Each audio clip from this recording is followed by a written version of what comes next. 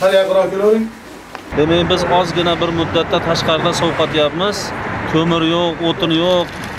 O'tin qilishlikka qodir bo'lmagan zaif bo'lgan insonlar bunday ahvolda nima qilishadi degan fikr bor? Tog'am uni aytavdi.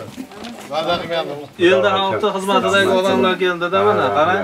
U ayol shunday och ekanki bir o'lgan qushni uyiga shunday olib kirib sudrab olib kirib turganini ko'rgan buni mingga ko'paytiradigan bo'lsak son sanoqsiz pul bo'ladi milliardlarga aylanib ketadi Bitta ko'zimiz bilan ko'rdik haqiqatdan bitta oila mana shu joyda yashashlikni o'zi bir hijolat Tog'a duo qilsin. Bizga duo kerak. Shu.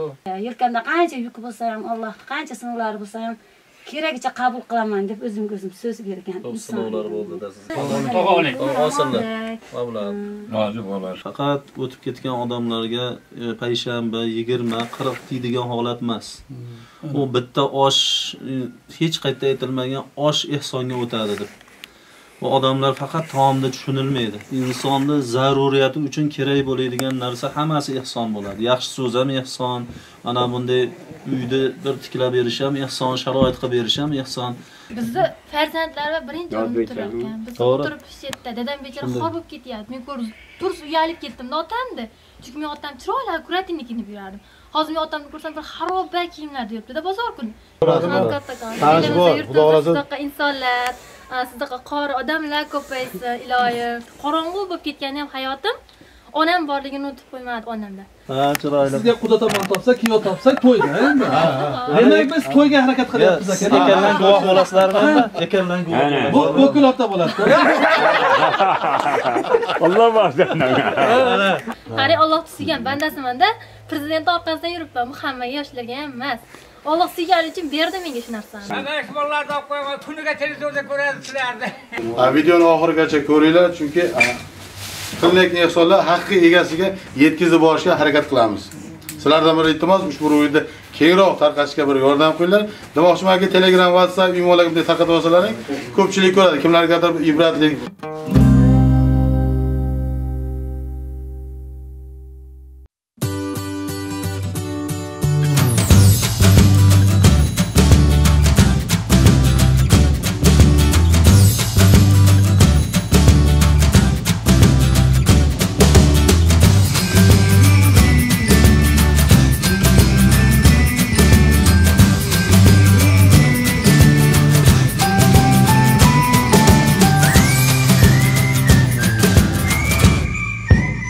Avvalambor assalomu alaykum. Shu qorakamizni kanalini ashaddiy obunachilari har bitta videoni qoldirmasdan ko'rib borayotgan aka-ukalar, opa-singillar, yaxshimisizlar, tanzorlaringiz sog'mi? Borlaringga shu. Bugun xudo qolasa shu qorakamizni komandasi bilan o'zimizni shu Oxun tukaning komandasi yaxshiliklar xudo qolasa yo'l olyapti. Sizlardan bir iltimos shu qorakamizni qolaversa shu komandasidagi e, qor ukalarimizni ham haqlariga bir duo qilib turinglar. Endi qorakamiz ham ancha narsa olibdi. Endi bizni komanda ham xudo xolasa qo'ldan kelgancha endi hali nima deydi beraka narsani ko'rsatma deydigan insonlar ham bor. Chunki bizni ashaddiy obunachilar shu ehson qilgan qilinayotgan misol uchun ehson qilgan narsalarni nima olganmiz o'shalarni ko'rsatib qo'yishimiz kerak. Shu xonadonga kerak bo'ladigan narsalarni. Qizg'on idishda oladigan parashut sovut bugut novvot yog' olindi shu bir qopdan xudo xolasa bugun uchta xonadan kiramizmi to'rttami uchta xonadonga xudo xolasa bugun kiramiz. Videoni oxirigacha ko'ringlar chunki qilinayotgan ehsonlar haqqi egasiga yetkazib borishga harakat qilamiz. Sizlardan bir iltimos ushbu ro'yinda kengroq tarqatishga bir yordam qilinglar. Demoqchimanki, Telegram, WhatsApp, imolarga bunday tarqatib olsalaring, ko'pchilik ko'radi. Kimlargadir ibratli, kimlardir bor, o'zi to'q yashayapti, yoniga qo'shilsa, misol uchun produktga zor bo'lib turgan insonlar bor. Hech bo'lmasa bir qalbi ozgina bo'lsa-da bir yumshasa, biz xursandmiz. Savobga sherik bo'linglar. Chunki fazilisa qilsanglar ham savobga sherik bo'lasizlar. Bu ham savob. Chunki yaxshi insonlar ko'radi, ushbu rolikka bir e, befarq qolmasdan mana shunaqangi e, bizni yo'nalishda yursa biz xursandmiz. Bo'lmasa tashqari chiqamiz. Qolgan narsalardan video tarqatib ko'rsatamiz.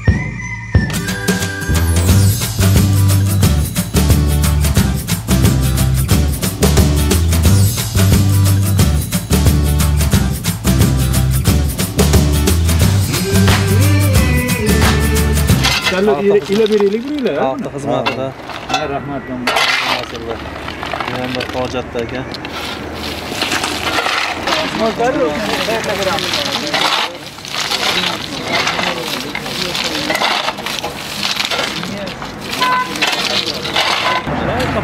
yoz yovonda polvonlar bo'lsa hamma qashqadaryo polvon yutib qo'ydik biz hammamiz sharmanda. Boshda yutib qo'ydik yutqizib qo'ydi oshda xayrli ishlarda musobaqa qilsa arziydi yetimlar uchun bo'lib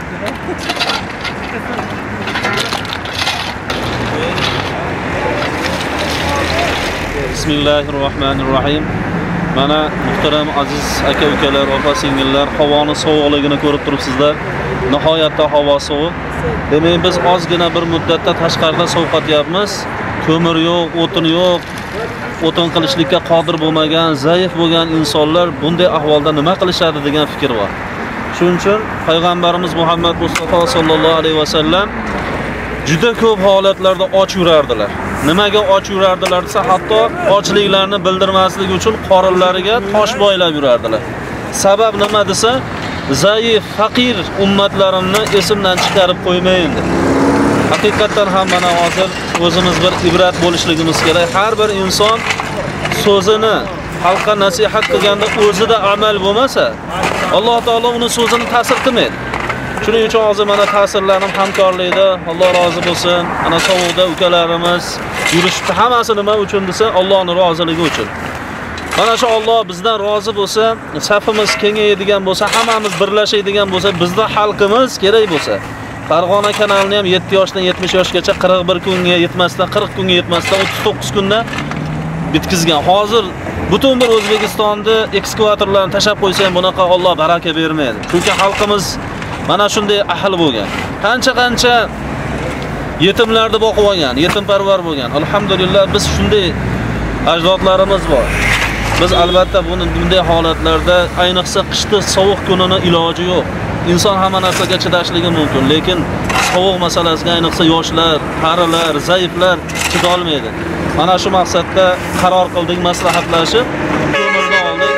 Allohdan umid qilamiz. Mana shu qilgan xizmatlarimiz chekkan riyozatlarimizni badalasiga alloh azza va jalla bizga o'zi nusratini bersa bizni gunohlarimizni alloh kechirsa va safimiz kengayib mana bunday insonlar qalbi o'ksik insonlar jamiyatimizda qolmasa mana shu orzuyimiz chunki qani endi meni ham uyimda shunday sharoitim bor edi deb o'ksiydigan bo'lsa bu mo'minlarni haqqiga xiyonat bo'ladi. Hammamizni tepamizda haq bor. Mana shu haqni inshaalloh go'zal qilib ado etamiz. Buning uchun sizlar qo'llab quvvatlab turasizlar. Alloh taolo aytgandek astaizu billah va taavanu alal birri va taqvo xayrli va taqvo ishlaringda bir birlaringga yordamlashinglar dedi. Ehson qiladigan kuchi yetadiganlar ehsoni bilan duo qiladiganlar duosi bilan. Hech bo'lmasa mana shuni qo'llab ko'proq odamga yetishlik uchun bir qo'llarimizni barmoqlarimizni bittagina bosib qo'ysak ham mana shu ham bizda inshaalloh ehsonimiz bo'ladi. Alloh taolo hammamizdan xususan sizlardan ham alloh rozi bo'lsin. Ishlarimizga kushodalik ato qilsin. Hammalarimiz xursandchilik kunlarida fayzli kunlarda ko'rishishlikda alloh taolo nasib etsin. E'tiborlaring uchun rahmat. Vassalomu alaykum va rahmatullohi va barakatuh. Chiqib ketib qolmanglar video tugagan yo'q hali. Hozir endi boshlandi xudo xohlasa videoni oxirigacha ko'ringlar.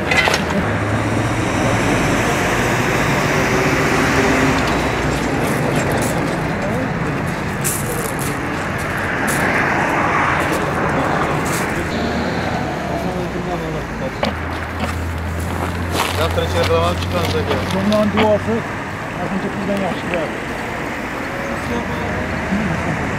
Duomizni duo qilmaydi, aparatiga aytaman. Aka mana shu yerda kecha kunduz ishlayapti aka, bola chaqa. Bunaqa kun qilmaydi aka.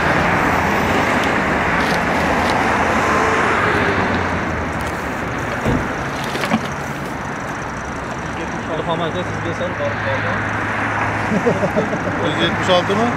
qo'yaver qo'yaver yo'q yo'q olamiz tamam Pulingizni ol. Yo, yo, ishlayapti. hech narsa qilmaydi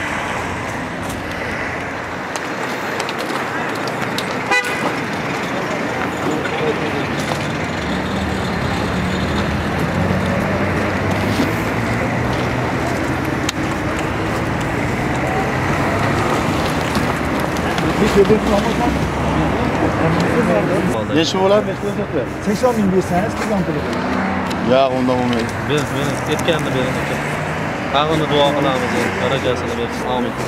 Ukamizga ham ehsonlarni qabul o'tganlarni rahmat ishlariga savdolariga tijoratlariga o'ziga fayzi baroga fayzi futuhotlarini nozil qil ikki dunyoda yuzlarini yorug' darajatlarini ulug' qilgin hurmatli uzoqda yaqinda ko'rib turgan aka ukalar opa singillar mana shu akamizga haqlab bir duo qilib qo'yinglar musofirlar duosi ijobat deydi. ketdik bo'lmasa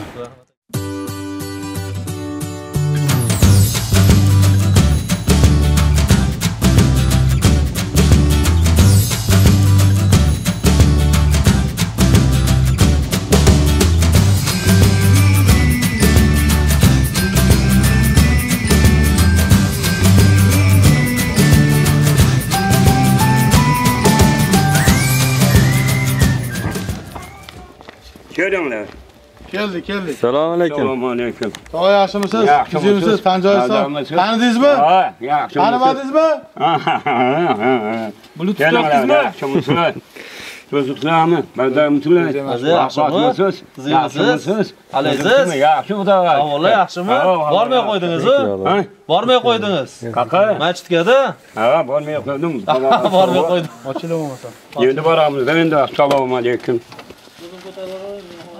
Ochilib bo'lmasa Endi boramiz. Endi assalomu alaykum. Obonglar, ha, uzoqqa. ha Voy, rahmat. Obonglar.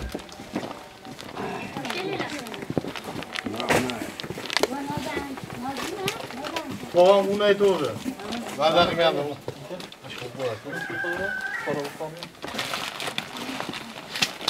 Ularda Ha, alaykum. Ana mehmonlarni olib qo'yaman, kuniga televizorda ko'radi sizlarni.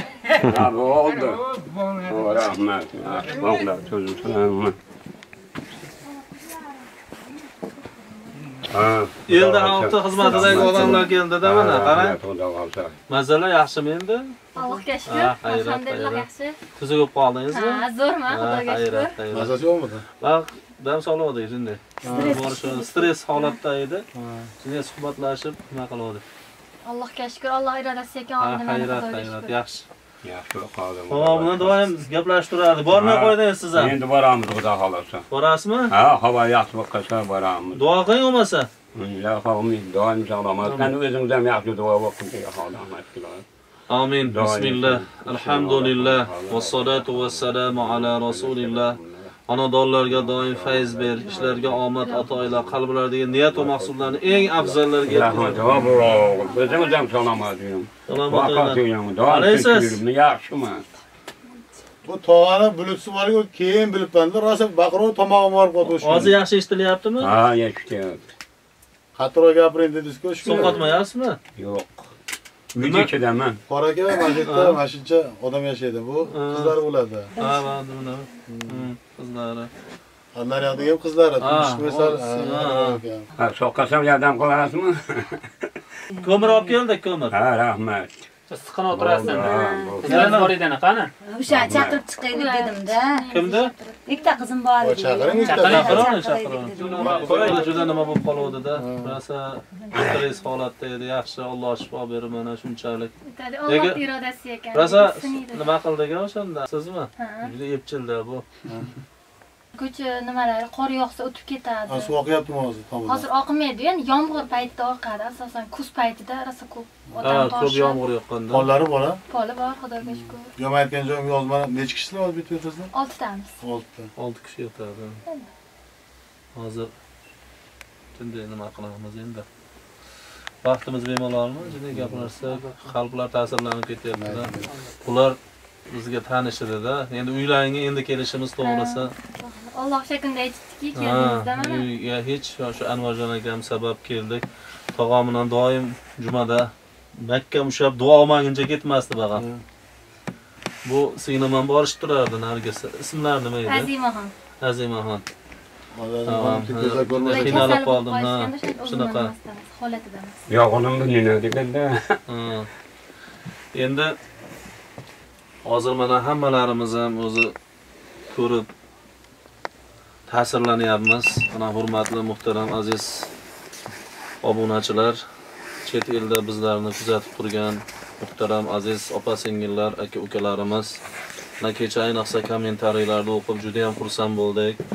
Qo'shni davlatlardan bo'lgan Qozog'iston, Qirg'iziston, Turkmaniston atrofdagi barcha mamlakatlardan ashaddiy muxlislar juda ham bir ashaddiy muxlislar ko'p ekan. Yana bundan tashqari o chet mamlakatlarda turib rossiya bo'ladimi? Eng eng olis masofalardagi davlatlardan ham juda ham chiroyli kommentariylarni yozishgan. Alloh rozi bo'lsin. Ular ham hammasi duo talabida. kimlardir o'sha joylarda yurib otasini vafotiga borolmadim bizni nomimizdan bir qur'on o'qib qo'ying deganlar bor. Ana shularni haqlariga hozir rosa kelib turibdi. Kelaveringlar keling qizim Ha, o'zimni qizim Keling. tog'a o'tgan safar un so'rovdingiz Un keldi mana. un keldi. Ha, rahmat. oziq ovqat mahsulotlari keldi rahmat. Ancha ro'zg'or keyin ko'mir ham keldi. Ko'mirda ham haligi cho'q bo'lib ancha ushlab turadigan Bo'ldi, rahmat. xudo xohlasa yana qo'ldan kelgancha harakat qilaveramiz. Tashlab xolasa, rahmat. nurjon aka haligi aytgan gap o'zim ham to'g'risi kechasi uyqu qochadigan ahvolga keldim. Uchtayam uyqu kelmadi hech bir nima qilolmasdik sabab judayam ko'p hatto obunachilarni ichida ham qiynalganlar bor ekan aka. Lekin bildirmasdan duo so'rashyapti o'shalar. Uyga muhtojligi borlar bor. O'shanday bo'lsa hamchi Allohning yo'lida ehson qilishyapti-da. Ana hozir aytdim, otamni vafotiga ham borolmadim, sharoitim ko'tarmadi. Haqqiga bir Qur'on o'qib duo qiling deganlar qancha. Uy olishga hozir ehtiyojim bor. Shu duo qilinglar sizlar ham ishlab yuribmiz. Biz ham uyli bo'laylik deganlaridan juda ko'p ta'sirlandik. O'shaning uchun bir Abdulloh ibn Muborak degan ulug' zot o'tgan. Bu kishini butun dunyo taniydi. Bu Marvdan bo'lgan. Hozir Turkmanistonga to'g'ri keladi. Otalari Muborak. Otalari oddiy dehqon, bog'bon bo'lgan. Bitta katta boyda huzurida ishlagan. Bu taqvoni qarangda, shuncha katta gektar bog'da ishlab xo'jayini aytganki, anor olib keling deganda, anorni achchig'ini olib kelgan. Og'ziga yoqmaganda yana boshqa 3 marotaba, 4 marotaba ham o'sha anorni sofini, sen bog'bonmisan, qanaqa bog'bonsan, nimaga bilmaysan? deganda menga axir yeyishlikka ijozat bermagansiz. Shuning uchun men ta'mini qarashni bilaman, lekin shundan bilib qizimni senga beraman degan mana shulardan Abdulloh tug'ilganlar. Bu juda katta zabardast olim. Mana shu kishi Alloh shunday bir fayz berganki, mablag' ham behisob, ilm ham behisob, hamma tomonlama behisob bo'lgan. Ehsonlarini cheki bo'lmagan. Nechidir marotaba haj qilgan. Alloh taolo berganda bu kishiga. Mana shu bir safarga o'zini atrofidagi shogirdlari bilan ketib turganlarida bir mamlakatga hajdan o'sha joydan o'tish kerak. O'sha mamlakatga yetib hajga yaqin masofa qolganda bitta ayolni ko'radilar. U ayol shunday och ekanki, bir o'lgan qushni uyiga shunday olib kirib, sudrab olib kirib ketib turganini ko'rgan.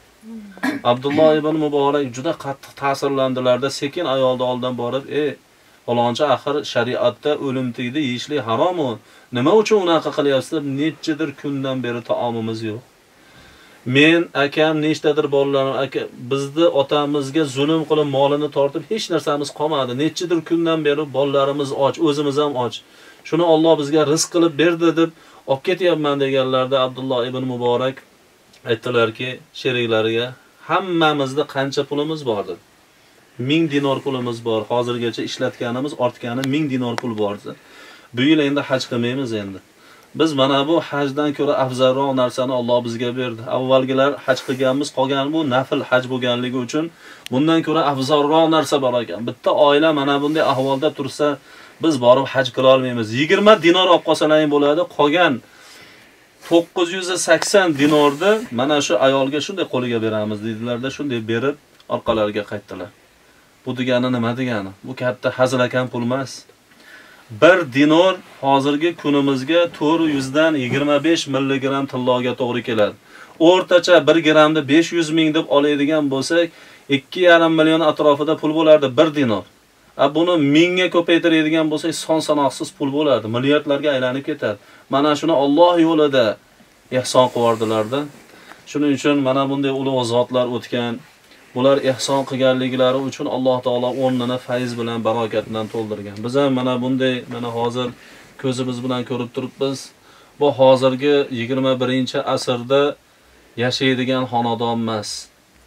Shuning uchun Alloh taolo bizda mana shu yerga mana siz boshlig'ingizda sabab qilibdi, ko'zimiz bilan ko'rdik. Haqiqatan bitta oila mana shu joyda yashashlikni o'zi bir hijolat bo'lib hammani ko'mirim yo'q o'tinim yo'q deyishyapti. Bu yerda bittagina singlimizni o'zlari ekanda qolganlar hammalari yosh ular hozir ish qiladigan darajada emas. Shuning uchun hozirgi ehsonlarimiz o'ylaymizki joyiga bordi deb o'ylaymiz. Sabab bunaqa xonadonni topishlik hozirgi kunda judayam bir mashaqqat. Ularni o'ylaymizki mana bu yosh qizchalarimiz singillarimiz turibdilar. To'g'ri ba'zi birlarga o'xshab eng totli narsalarni yemagandirlar. Yumshoq yumshoq joylarda yotmagandirlar. Lekin shunga sabr qilganim uchun sizlar hech ham xafa bo'lmanglar. Xudo xohlasa hali sizlarni kelajaklar oldinda. Shunday bir joylarga inshaalloh xonadonga kelin bo'lasizlarki alloh taolo mana shu qiynalganlarning evaziga katta katta ajrlarni martabalarni beradi. Qaysi buyuklarni hayotiga qarasak yoshligidan qiynalgan qiynalgan Alloh darajani bergan. Bu holatga Allohga shukr qilishlik kerak. Alloh sabr sabrda bardavom qilsin. Inshaalloh bu kunlar vaqtincha o'tib ketadi. Xudo xolasa qo'limizdan kelgancha mana saxovatli insonlar hech qaysi qarab turmaydi. Mo'minni mo'minni ustidagi haqqi qiynalsa albatta yordam qilish hamma mo'minda haqqi bitta diyordagi emas. U yer yuzini qayerda yashashlikdan qat'iy nazar la ilaha illalloh muhammadu rasululloh dedimi? U mo'min musulmon hisoblanadi. Tilidan e, rangidan ijtimoiy kelib chiqishdan qat'iy nazar musulmon odam bir biriga yerni kurrasini qayerda yashashlikdan qat'iy nazar qo'ldan kelgancha yordam qilishlik mo'minni ustidagi haq.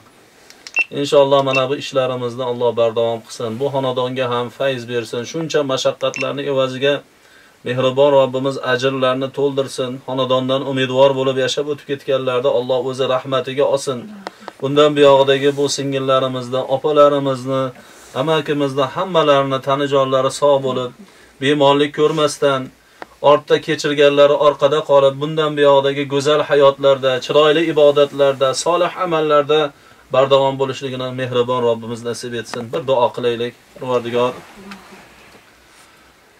qalblarimiz qorayib ketgan biz bandalaringni o'zing kechirgin. G'aflatda qolgan bandalaringni o'zing kechirgin Parvardigor. Mana bu xonadonga kirdik ta'sirlandik. Avvalambor qancha qancha yurtdoshlarimizni qilyap turgan ehsonlarini sa'y harakatlarini o'zing parvardigor husni dargoh etib qabul ayla. Bu xonadonga keldik noumid qo'yma xonadondan quruq holatda chiqarma duolarimizni qabul qil. Mana bu xonadondan umidvor bo'lganlarni barchalarini rahmatingga ol. O'zlarini esa sog'liklariga salomatchiliklariga o'zing fayz bergin barokat bergin bemorliklardan o'zing panohingda saqla dardlarga shifoi kulliyalar ato aylagin. Endigina uni bo'sayab turgan bu farzandlarni ham baxtli qilgin. Kelajakda voyaga yetib munosib joylarga soliha kelinlardan bo'lib kamol topishliklarini Alloh o'zing nasib et. Nasllardan zurriyotlardan hoji haramaynlar dini islomga xizmat qiladigan dini islomda xalqimizga yetkazadigan munosib farzandlar qiyomat kunigacha davomli bo'lishligini ham Alloh o'zing nasib etgin. Qalblarni parvardigori islom qur'on iymon nurlari bilan doimiy munavvar qilgin parvardigori bu o'zing parvardigoron bandalaringni hojatlarini hammalarini o'zing bilasan. Qalblariga hali kelib ulgurmagan niyatlardan ham xabardorsan. So'raganlardan ham ko'ra ziyodaroq holatda o'zing yetkazdirgin. Shunday sovuq kunlarda parvardigoro mana bunday tashvishlar bilan yurgan mana anvarjon akam boshchiligida aka ukalarimizni hammalarini ham olib boryapti turgan xayrli ishlardan o'zing rozi bo'lgin. O'zing tanijonlarni sog' qilgin salomat qilgin. Hammalarimiz ibratlandik. Hayotimizda shukronalik bilan hayot kechirishligimizni orttirganlarimizni barcha mo'minlarga qiynalganlarga yetkazib hammalarimiz biz bir dasturxonda ahli ino bo'lib yashashligimizda Alloh o'zing nasib et.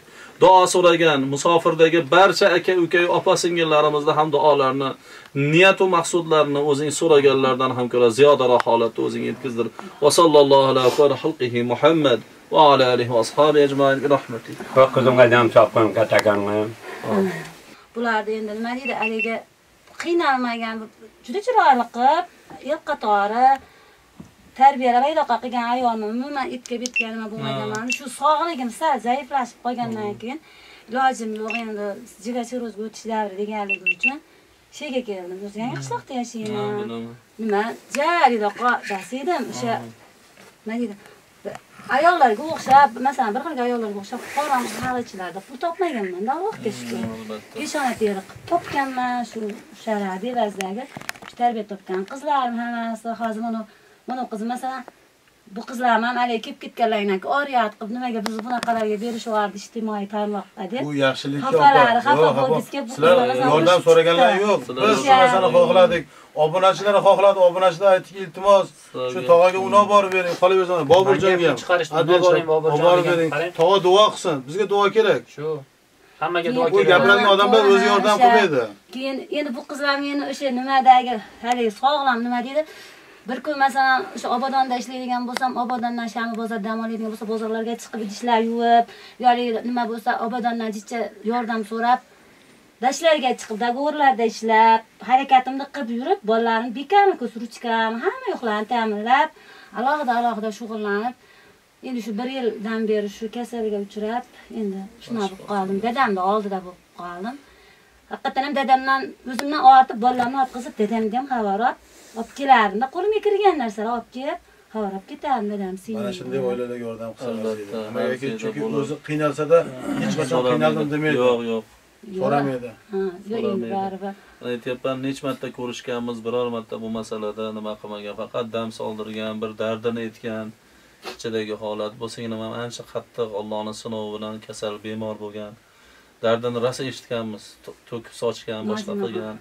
Mana xudoga shukur salomat ekan yaxshi bo'lib qolibdi endi ko'chada ko'rgan boshqa xonadonga kelgan boshqa ekan mana hozir ta'sirlandik haqiqatdan ham juda ham ta'sirlandik. Azima manaqa shu qizni mana nimalarni ham shu o'zi yildagidoq qilib senga ham o'tgan yili soqqay. shu stressdan nimaligidan yangida harakatini qil- qilavergan yo'q mana bir vaqtli harakatlarni qilib kelar kichkinalar xursand qilay deb bezatganda endi. Ha shunaqa. O'sha yangi yilda tur prezident nima qilyapti tabriklayapti desak ham o'zini ko'tarib turolmagan edi bu o'tgan yili shunaqa to'g'ri terapiyalarda yotib nima bo'ldi mana xudoga shukur Ancha ketdi davom- mana. shu qilib. boshqarib bu juda o'zi epchil qizda bu Nimasi ham- boshqacha ekan. nimasi ham kuchli unaqa nima deydi unaqanaqa ham talant deydimi iqtidor deydimi ilm masalasida ham ancha yaxshi fikrlash qobiliyati O'tgan safar ham o'sha kelib video qilganimizda ko'pchilik ko'rdi videoda haqiqatan ta'sirlanishib Hmm. yana boringlar boburjon yana boringlar man qo'limdan kelgancha yordam beraman deganlar ham edi. mana shu qiz hammani yuragini Mana shunaqa to'g'ri. Ta'sirli gaplar bilan voy gapirib hech opa unaqa ko'ngliga kelmasin. Hammamiz bitta oila. Endi hayot shunaqada Allohning sinovlari har xil. Bugun bor ertaga yo'q. U mablag' ham qo'lda kirib. Sog'lig'i ham xuddi shunday. Allohga shukur. Har bitta kunimga shukur etib, Allohga zikr qilib yashagan ayolmanda, endi Xudoga uchta shukur. qizingiz bor Ha, uchta qizim bor, Allohga shukur. Uchta qizni kimga ham bo'lsa beravermaydi. Alloh. yo'q yo'q yo'q Nima deydi? O'sha o'ziga yarasha nimasi bor uni. Ancha mas'uliyati bor. O'shancha Xudoga shukur. Endi Xudoyim beryapti. Har bitta mana sinovlarini mana vaqt onam o'tdi. Onamdan keyin mana singlim 9 yosh qoldi. Qanaqa kasallikka uchrab, mana shunaqa buyurdi. Endi o'zi yaqin yana ancha mana ket g'anglasalarga yotdi bu singlim. Bundan keyin o'zim shunaqa kasal qolgan. Men uncha munchaga so'z bermaydigan, qat'iyatli, mag'rur ayolman deb. Shunaqa deb o'zimni umuman cho'ktirmaganman-da. shunchalik O'sha yelkamda qancha yuk bo'lsa ham, Alloh qancha sinovlar bo'lsa ham keragicha qabul qilaman deb o'zimga o'zim so'z bergan. inson sinovlar bo'ldida sizga Mm, Siz nimaga tushkunlikka tushasiz? Endi bu dardlar ham vaqtinchalik, xudo Alloh xohlasa. albatta. O'sha Xudoning mehribonchiligi, Xudoyim suyganligi. lekin hammaga ham alloh taolo qiz ne'matini beravermaydida. Qur'onda farzand haqida zikr kelsa birinchi qiz ne'mati zikr qilinadi. o'g'il boladan qiz bolani afzalligi bor deydi ulamolar. Nimaga desa alloh taolo nimani birinchi zikr qilsa o'shanda fazilat bor deydi hech qaysi bir hadis sharifda unaqa maqom kelmagan. O'nta farzandni voyaga yetkazib katta qilib uylab joylasa jannat degan gap yo'q. Lekin qizlarni soliha qilib garchi bitta qiz bo'lsa ham tarbiyalab nikohga uzatgan ota onaga jannat deganlarda payg'ambarimiz alayhissalom bashoratlari bu. Bu oson ish emas bu ko'chada ko'tarib yurish bor. Ba'zi birlar hozir johillar tushunmaydi. A qiz farzand farzand bo'lmaydi uyni chirog'ini bekorchi gap? Agar shu gap to'g'ri bo'lganda payg'ambarimizni nasllari nimadan davom etdi? O'g'illaridan emas uchala o'g'illari ham yoshligidan o'tib ketgan. Fotima onamiz bitta rasulullohdan keyin yashagan olti oy yashagan fotima onamiz bo'ladilar. Fatima onamizdan mana Rasulullohning avlodlari hozirgacha kelyapti. Demak, qizdan kim aytdi davom bo'lmaydi deb? Kim aytdi chirog'ini yoqmaydi deb? Unaqa o'g'il betarbiya bo'lib, hammani qaqshatadigan bo'lgandan qiz bola bo'lib, soliha bo'lib, butun ummatni tarbiyalagan ham ayol kishi bo'ladi. Bu ayollarda islom shariatida hurmati, ehtiromi juda ham yuqori. Chunki Imom al-Buxoriyni ham otalari tarbiya qilmagan, yoshliklarida o'tib ketgan. Onalari mashaqqatni bo'yniga olib, bolam o'qisang bo'ldi deb sharoit yaratib bergan. Dan xudo xolasa bular rohatini ko'rasiz. Bularning ajri bor. Bularning savobi hech narsaga teng kelmaydi. Oltinchi sinfdaligida yonimga kirgan qiz bu masalan juda vaqt yonimga kirgan Xolasa rohatini ko'ring. men bilan tengma teng ro'zg'or achchig'ini ham tortdi boshqasini ham nima qildi o'sha xudoyimni bergan sinovlardan ham o'tdi mana xudoga To'g'ri, to'g'ri. o'sha Mana hozir yaxshi ekan u. Eng asosiysi oldingi holatda juda ham ahvol yomon edi. O'sha- O'tgan safar tog'amiz un deganda mana ko'pchilik yordam qildi, un olib kelildi. Endi hozir tog'amiz ko'mir deyapti. Bir inson 200 ming pul jo'natgan. Shu tog'amiz duo qilib qo'ysa bo'ldi. O'sha 200 mingda Mana. un olmadingda, uni olib berasizlar deyishgan un bo'lib qoldi qolgan ehson qilib qolishgan olaverasiz. Endi o'shanga pensiyalarni nima olamiz? chiqardi. Tog'a oling. Olsinlar.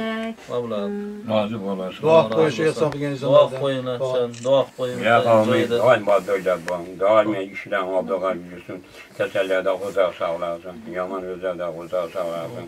Shulardan hammadan boydo'ylab bo'ling. Salomat bo'ling. Hammadan. Rahmat qilib Alloh. Alloh, barakalloh. Baraka mana shu oilaga o'zini shu oilasidan ajratib ehson qilgan insonlarning haqlariga bir duo qilib qo'ysangiz. Amin ya robbil alamin. Mana bunday ehsonni joyi bo'lib turgan. Bu xonadonga ixlos bilan, muhabbat bilan, beg'araz holatda, beminnat holatda seni rozi qilishlik maqsadida ehson qilgan, qo'l cho'zgan saxovatpesha aka ukalarimizni, opa singillarimizni ehsonlarini qabul ayla. Va'dang bor. Eng kamida mablag'larni o'rnini 700 va undan ziyodaroq holatda qaytadan to'ldir. Tani jonlarni doim sog' qilgin, salomat qilgin, farzandlarga bosh qilgin. Farzandlari ham xalqimizni duolarini oladigan, ko'zlarini quvontiradigan farzandlardan bo'lishligini Alloh o'zing nasib et. Ikki dunyoda yuzlarini yorug', darajatlarni o'zing ulug' qilgin. Himmatli ishlarga himmatlarini o'zing bundan ham ziyoda bo'lishligini, qiyomatda esa Rasulullohning shafoatlaridan bahramand bo'lib jannatda jamolingni ko'rishlik maqomati nasib etguvchi bandalaringdan bo'lishligini Alloh o'zing nasib etgin. Rahmat. Kim bo'lmasin. Hammadan yaxshi bo'linglar. Salomat bo'linglar.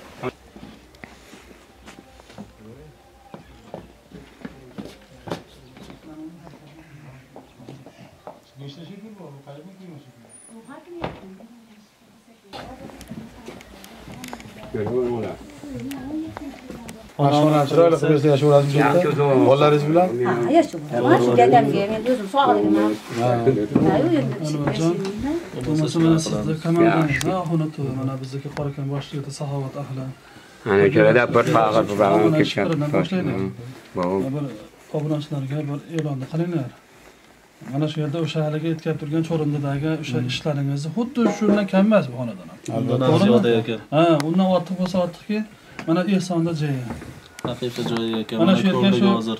Manzilni shu yerga qo'yaylikda. Aka yashaydigan holat ham emas ekan. Mana o'zimiz ko'zimiz bilan ko'rdik. O'sha uyni o'zi mana hozir yerda ikkita uy ekanda, shuni bir chiroyli qilib. montajlari ham bo'lgan yo'q. Mana hozir xafa bo'lishyapti. Qancha qancha joylardan kelib nima qiladi.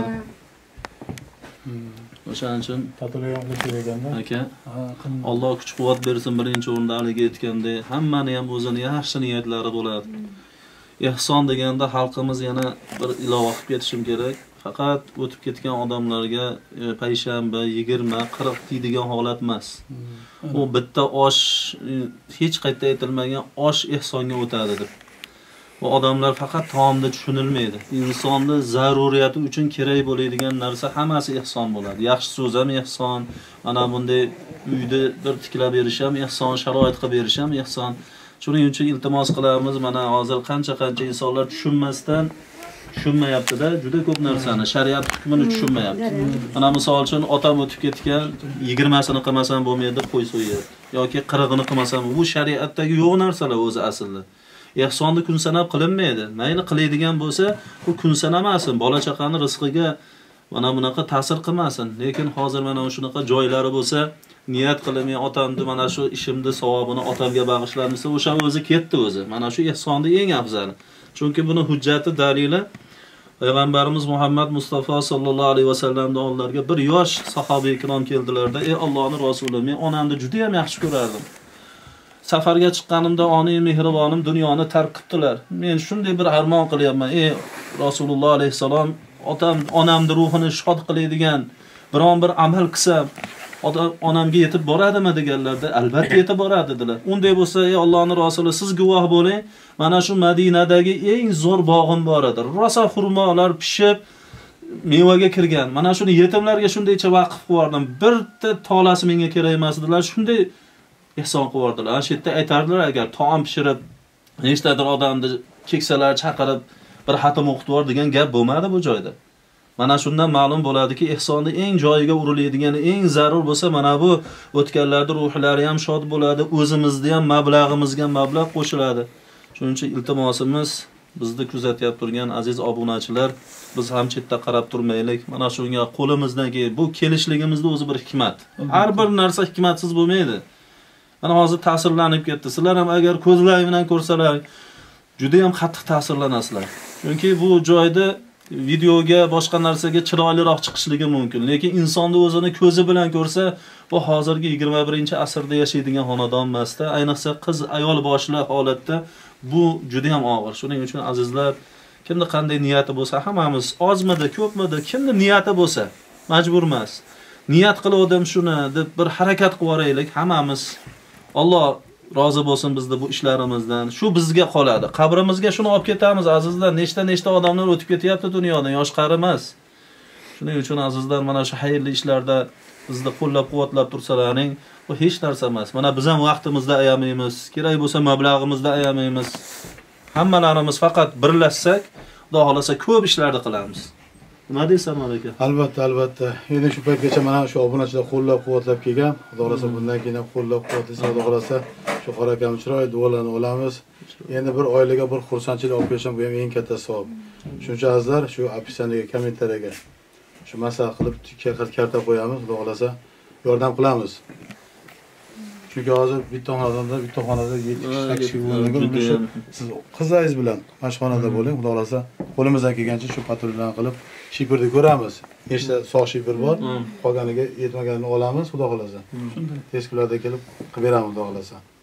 Mahallalariga yordam so'rab ham chiqqanman. Yordam. bitta yordam insonlar bor edi.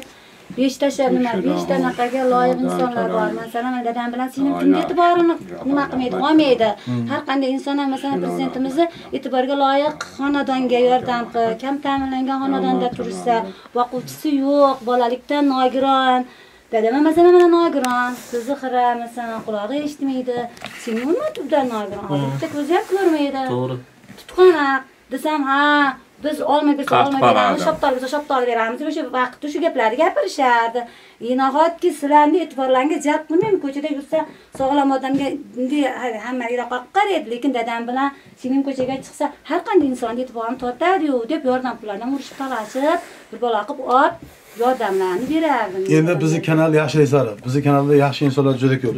Endi haligi nima deydi? Bizni kanalda g'iybat bunaqanisi bo'lmasinda bunda ba'ga xudo xohlasa ular yomonlamang biz o'z qo'limizdan kelgancha yordam qilamiz. Degan emas endi onamga ham qiyin. Alloh taolo gunohkor bo'lyapman erimga qaramayapman ham deyapti. Eskicha nima deyman diniy tomon lekin bizni farzandlarimiz birinchi o'rinda turarkan biz To'g'ri. o'tirib shu yerda dadam bechora xor bo'lib ketyapti men ko'rib turib uyalib ketdim otamni chunki men otam chiroyli akkuratniy kiyinib yurardim. Hozir men otamni ko'rsam bir xaroba kiyimlarda yuribdida bozor kuni. Lekin o'zim akkuratniy kiyinganman borib kirlarni yig'ladim keladi bu borib dugonam yig'latmasdan endi men o'sha jigar so'rab o'tganligim uchun bitta turibmanda parhez opa mana shu joyda qilaylik bolalaringiz uchun. Xo'jangizni ham davlatib beramiz. Mayli. bo'ladi xudo xohlasa. Tanish bor, xudo xohlasa- insonlar sizdaqa qori odamlar ko'paysin iloyim davlat beramiz jamiyatda o'rnang topinglar iloyim bizdaqa masalan oilalarda kelajakda yoshlar o'ylaganlar uchun kattakon rahmat. Siz ham jamiyatda o'rningizni toping deb yuribmanda man topadi topadi? Ha, Alazor. Ana Boburjon shogirdlik olaman dedi-ku. telefon nomerlarni xudo ayta qo'yardim bilmayman Videoni mana shu yerdan boshlaydi, mana shu proyektdan mana shu uyda boshlaydi. Assalomu alaykum yurtdoshlar. Mana shu Anvar aka bilan Bobur aka uyimizga keldi. Mana chipur qoqishyapti, video qiladi uyda. Bo'ptimi? Juda xursandman. O'sha kunlarga Sizlar ham xursand. Mana bu patologiya qoqishyapti deb video qilasiz uyingizda. Xudo xolasa. birinchi nimada ko'rdim qarang olloh suygan bandasimanda prezident orqasidan yuribman bu hamma yoshlarga ham emas olloh suygani uchun berdi menga shu narsani Siz xursand bo'ling deb qo'ydingiz men xursandman ekan Ha? judayam Ha, xursandman shunaqa. Tez kunda kelamiz xudo xolasa. Yana xabar olamiz, xudo xolasa bo'ladi. Duo qilib tursalar ham bo'ldi. Hammasidan ham bag'di tuzuk bo'lib qolganiga juda xursand bo'ldim-da. allohga shukur xudoga ming qatlab shukur o'zimni qayta xudoga shukur gapirganlar ham g'iybat qilganlar ham kelajak yo'q deganlar ham Aytdim sizga. kelajagimni ko'rsin deb harakat qildim onajonimga kattakon rahmat meni hamma suyadi. Chunki men bitta odam hammaga kerakman ekan o'sha paytda. Qorong'u bo'lib ketganda ham hayotim onam borligini unutib qo'ymadi onamda. Inshaalloh. turgizib berib sizni oldingizga borib o'sha o'qitishib hatto mo'minalardan ham eshitdik sumalaklarga borganda ham eshitdik. Sen kelajagi sen kim oladi xudoga shukur alhamdulillah Ha. sovchilarim ham ko'p. Allohga ming Xaridorlarim ham. shukurda xudoga shukur xudo yana ko'payadi. Xudo xohlasa yaxshi kelgan bo'lasiz. Qora aka nikohingizni o'qib qo'yadi inshaalloh Bo'ldi. to'ylarda birgalikda shu yerda o'zi niyati ham shu Yerda maktab bog'lab. yo niyati ham shu edi shu oldindan shuni niyat qiladi. Bo'ldi, bo'ldi. Niyatingizga yetasiz. qora aka o'qib qo'ysa deydimi anvar aka kelamiz guvoh bo'lamiz. Nimaga? Quda ziyofatga biz yetasizlar. Mana kuyov akalar bular. Operator bor. Ha, bo'ldi, xudo xohlasa. Ya to'yga videochim yetmas ekan. Hamma narsa bor. Ha, biz desangiz to'y bo'lar ekanmiz Hozir hofizini shunday Bo'ldi, xudo remont qilib Ha, chiroyli. sizga quda tomon topsa kuyov topsa to'yda endi demak biz to'yga harakat qilyapmiz aka Ekandan guvoh bo'lasizlarmi? Ekandan guvoh. Bu kunlarda bo'ladi Alloh bosdan. Ko'rdingizmi? Ha. Biz berdim ekan boylab, ha? Aka xizmat bermak. rahmat. niyatimiz yaxshi Bu samimiy gap. ha to'y uchun uyda remont qilyapmiz qizimizni remont qilamiz. Ha, Ishlaydi bu- obunachilar. ha bu bu qurilishdan keyin yana to'yga ulanib ketadi Xudo xohlasa. nikohlarda shu yerda o'qib qora bilan birgalikda to'ylar bo'lsin. Ha. Bizlikda obunachilar bo'lmasa, qora aka shuncha qora ko'zlar qarab turibdi, shularni bir haqlariga bir duo qiling. Haqiqatdan ham bu qora ko'zlar juda ajoyib qora ko'zlar ekanda. Yana kommentariy yozishadi aytaman. Bitta duo qiling mana Bu shularni. kommentariyaga uyqu yo'q bo'lib qolar ekan aka bunda. Bugun ertaroq qo'yaman, duo qiling. Ayni. O'zing mehribon zotsan. Parvardigor, biz ojiz bandalarimiz. Parvardigor bu xonadonga kirdik, noumid qo'yma. Qancha qancha insonlar bor Parvardigoro. Mana bizlarni ko'rib turibdilar. Samimiy ixlos bilan, muhabbat bilan tomosha qilyaptilar. Va qo'llaridan kelgancha nechidir yillardan beri ehsonlarni ham ayamayaptilar. Shunday ulug' insonlar bor, yurtimizni tinch qilib turibsan. Tepamizdan balolarni ko'taryapsan. Parvardigoro, bundan ham hammalarimizni salomat saqla. Musofir bandalarni ham salomat saqlagin. Qalblaridagi niyat va maqsadlarni afzallarga yetkazdirgin. Ishlariga, qilib turgan kasb-u korlarga, molijon, savdo tijoratlarga ham fayz ber. Halol va toyib rizqlaringni dasturxonlarga serob et. Hammalarni nima qalblaridagi niyat va maqsadlari bo'lsa o'zing yetkazdirgin. Mana shu obunachilarimizda hammalarini tez fursatlarda Baytullohda mehmon bo'lib, labbayka bilan ihromlarda o'zingni baytingda mehmon bo'lishliklarini, ota-onalarni ham haj safarlariga olib borib, farzandlari ham hoji haramaynlardan bo'lishliklarini Alloh o'zing nasib et. Nasllardan, zurriyotlardan taqvoli bandalaringni xalqimizni nazarini topadigan, seni rozi qiladigan munosib farzandlar davomli bo'lishligini ham Alloh o'zing nasib etgin. Bizlarni qalbimizda bir-birlarimizga g'oyibona ulfat qilding Parvardigona. Mana shu ahilligimizni qiyomat kunigacha davomli bo'lishligini o'zing nasib et. Mana bu ishda senga tavakkul qilib turibmiz. O'zing g'oyibingdan mablag'larni ham biz o'ylagandan ham ko'ra ziyodaroq holatda yetkazdirgin Mana shu joylarga xursandchilik kunlar, to'ylarni ko'rishlikni Alloh o'zing nasib et. Obunachilarimiz ham mana shunday xursandchilik kunlarda ko'rib ko'zlari quvonib, bergan ehsonlardan mingdan ming rozi bo'lib, jannatda ham eng oliy qasrlarga ega bo'lishliklarini Alloh nasib et. Alloh. Rahmat, kam bo'lmanglar.